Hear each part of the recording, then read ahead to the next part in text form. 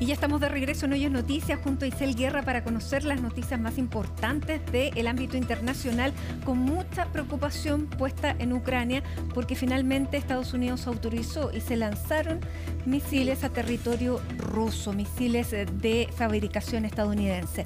Bienvenida, cuéntanos todo lo que está sucediendo porque se han... Eh, Ahí desatado muchísimas, muchísimas consecuencias. Así es. ¿Cómo estás, eh, Mati? También a quienes nos ven y escuchan a esta hora con esta eh, acción militar que ha lanzado durante esta jornada Ucrania contra Rusia con el lanzamiento de seis misiles eh, de largo alcance, ¿no? Y que son de hecho las imágenes que estamos viendo allí en pantalla, son imágenes de archivo, pero es para representar básicamente cómo son justamente estos misiles ATCAMS que, como bien señalabas tú, Mati, son de fabricación estadounidense y por eso veíamos precisamente como el día domingo por la tarde Biden autorizaba finalmente su uso, algo que no han pasado ni dos días y finalmente Kiev eh, lanza justamente este ataque contra una región fronteriza de Rusia. Estamos hablando de la región de Briansk y claro, con esta información que trascendía en horas de esta mañana porque el ataque aparentemente habría sido eso de las 13 con 25 minutos eh, hora local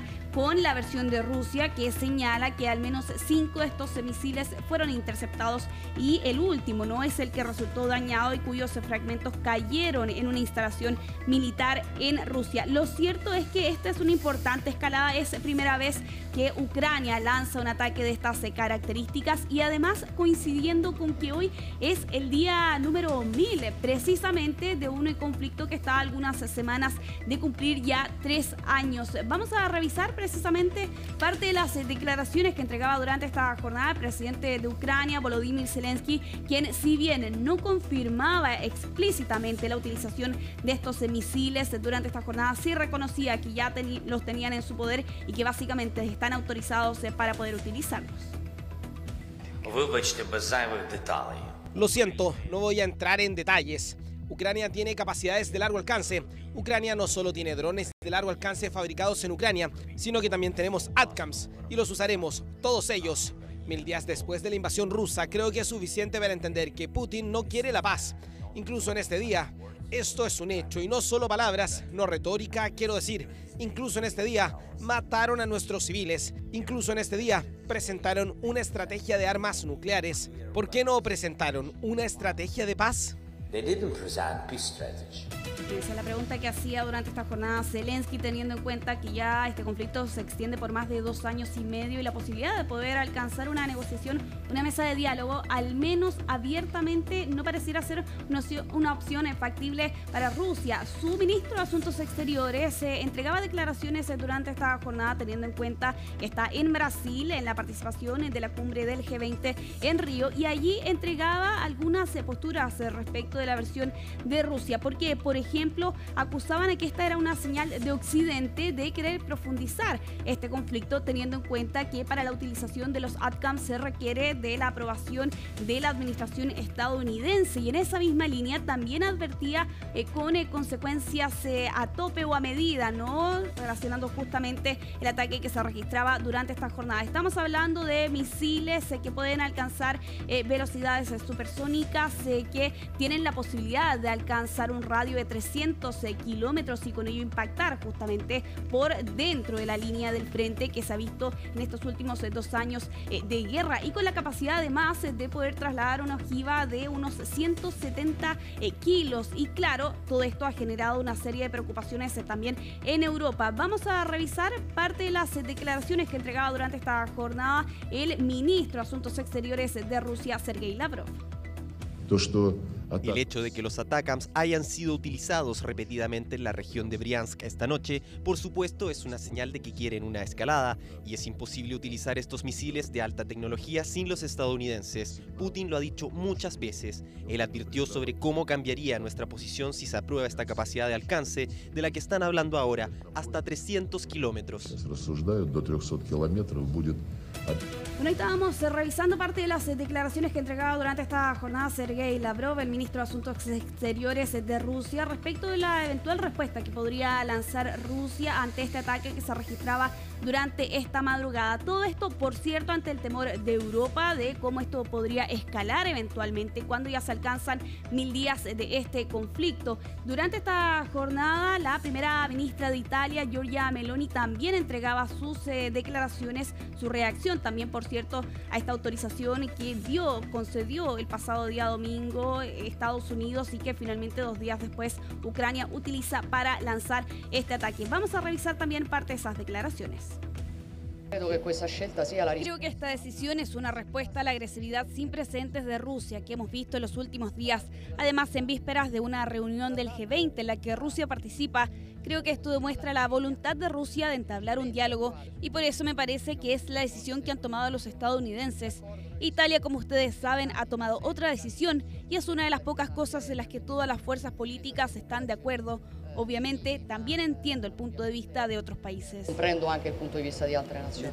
Bueno, esta es solo una de las tantas reacciones europeas que hemos visto durante esta jornada, sobre todo teniendo en cuenta que en paralelo a esta información que se conocía en horas de esta mañana, desde el Kremlin informaban que estaban actualizando su doctrina nuclear. Uno de los últimos cambios ocurrió en 2020, antes ¿no? del inicio de esta guerra, y se ha ido modificando durante este último tiempo. Y ahora con esta nueva actualización a la doctrina nuclear o a la política nuclear, básicamente hay tres conclusiones, partiendo porque Rusia considera una agresión a cualquiera que lleve a cabo un Estado no poseedor de armas nucleares, pero que con la participación de un país nuclear se realice un ataque independiente del tipo de armas que utilice. Eh, y claro, a eso además se suma que un ataque a Bielorrusia también es considerado un ataque a Rusia. Aquí básicamente se amplía la definición de lo que se considera una agresión, se reducen las condiciones para el uso de las armas eh, nucleares y claro, todo esto a raíz de estas líneas rojas eh, que ha marcado el Kremlin, básicamente el presidente de Rusia, Vladimir Putin, durante estos últimos dos años y medio, porque vimos una situación similar con advertencias lanzadas por Rusia, por ejemplo, con la aprobación y la autorización eh, de que Ucrania pudiera acceder a los F-16, a estos aviones caza. Vimos lo mismo también con el caso de los tanques y el sistema de defensa eh, antiaérea eh, Patriot, donde en su momento Rusia advertía con eh, graves consecuencias. Y claro, en una de las últimas modificaciones a esta doctrina nuclear que se vio fue en septiembre de este año cuando se rebajaba nuevamente este umbral y se definía como una cuando Rusia más bien enfrente una amenaza crítica a su soberanía. Lo cierto, Mati, es que hemos visto cómo de parte de Europa algunas naciones ya han comenzado a prepararse ante un escenario de guerra sin llegar a ser alarmistas, pero de todas formas... Yo me alarmaría porque Finlandia, Suecia y Noruega han repartido manuales para sobrevivir una guerra. Exacto, sí. De hecho, vamos a ver precisamente parte de esas imágenes, cómo es ¿no? este folleto que ha comenzado a, por ejemplo, Suecia a repartir, a contar del día eh, de ayer con el título ¿Qué hacer en caso de crisis o de guerra? Una actualización, una nueva copia, teniendo en cuenta que el anterior se había eh, redactado hace seis años atrás, el 2018, y ahora con el doble de páginas, 30 en rigor.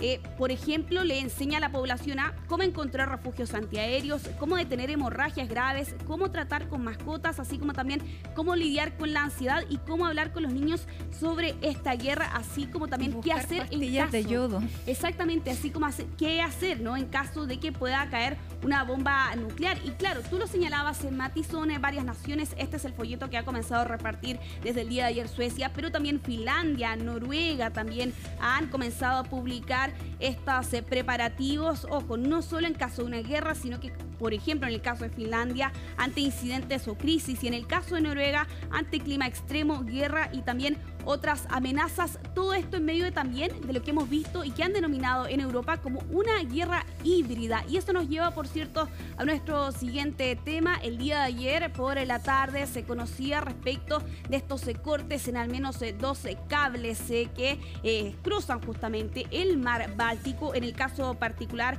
cables submarinos entre Lituania y Suecia, así como también entre Finlandia y Alemania. Y con la postura que han adoptado, por cierto, estas naciones europeas en estas últimas horas, donde ya están deslizando la opción de un sabotaje de parte de Rusia, sin mencionar directa o específicamente al Kremlin, pero teniendo en cuenta también algunos antecedentes. Lo vimos hace dos años atrás con el Nord Stream 2, este gasoducto, y claro, aquí con esta información de estos 12 cables submarinos que resultaron cortados.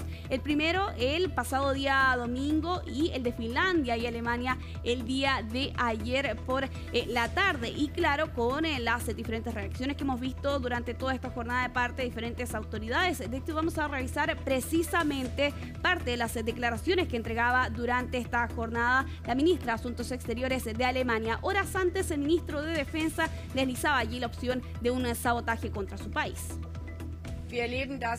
Ahora también estamos viviendo esto en Alemania, que geográficamente se encuentra en el corazón de la Unión Europea, por así decirlo, con ataques cibernéticos, vigilancia y espionaje de infraestructuras críticas. De repente explotan paquetes que se supone que se transportan en aviones y ayer, como usted ha mencionado, se rompió un cable de datos entre Finlandia y Alemania, que probablemente también afectó a Suecia. Nada de esto puede ser una mera coincidencia.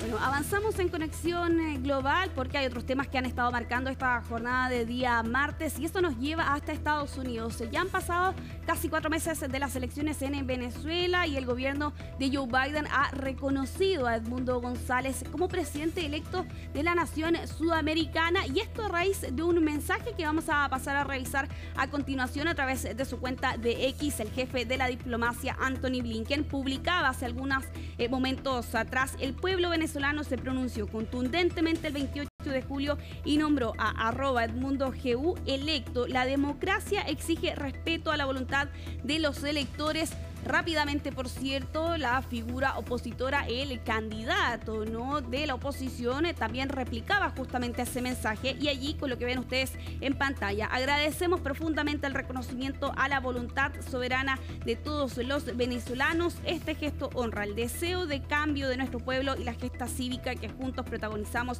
el pasado 28 de julio. Finaliza justamente este mensaje de Edmundo González unos momentos después. Claro, Estados Unidos se suma, por ejemplo, a la decisión que adoptó hace algunas semanas atrás el Parlamento Europeo, donde también reconocía y calificaba a Edmundo González como el presidente electo de Venezuela. Todo esto a raíz de las elecciones del pasado 28 eh, de julio, donde podemos recordar, por cierto, ¿no? que el Consejo Nacional Electoral de la Nación Sudamericana eh, reconoció lo que ellos aseguraban era la victoria de Nicolás Maduro, pese a que incluso hasta este momento, cuando han pasado todos estos meses, no han publicado las actas, cosa que hacía hecho justamente la oposición. Eso por lo demás le valió que Mundo González terminara abandonando Venezuela con destino a España. El cambio de mando originalmente estaba previsto para el próximo 10 de enero. Habrá que ver finalmente qué ocurre en el país sudamericano. Vamos a finalizar rápidamente con eh, noticias que llegan desde Estados Unidos y una decisión que muy probablemente podría tomar forma